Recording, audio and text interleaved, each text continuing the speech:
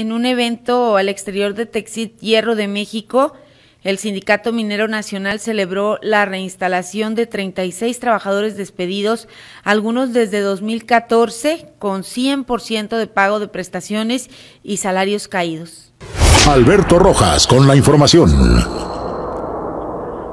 Buenas tardes, Silvia. Buenas tardes a todos. 36 trabajadores de Texi Hierro de México que habían sido despedidos por razones sindicales, algunos desde el año 2014, fueron reinstalados esta mañana en la fuente de trabajo con pago de 100% en prestaciones y salarios caídos, lo que propició celebración de dirigentes y beneficiarios al exterior de esta empresa metalúrgica, con lo que se puso punto final a un conflicto de ocho años.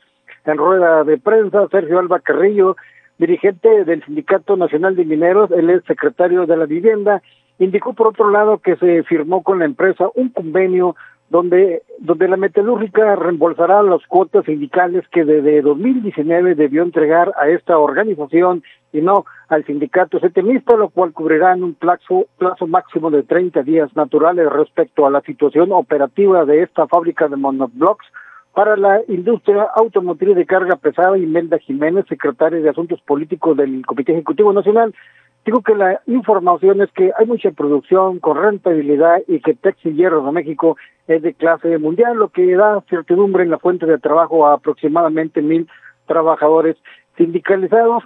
Eh, y bueno, eh, de recordarse, dijo ella, que en abril de 2014 los trabajadores pidieron incorporarse, luego hubo un recuento favorable al sindicato minero en 2018 y concluyó que en Texas Hierro de México solamente hay un titular administrador del contrato colectivo que es Napoleón Gómez Urrutia. A las 10 de la mañana se produjo la reinstalación de 36 trabajadores, los cuales reiteró cobrarán los ingresos económicos que dejaron de percibir durante todo el tiempo que estuvieron despedidos. Silvia, buenas tardes. Gracias Alberto por la información. Buenas tardes. Buenas tardes.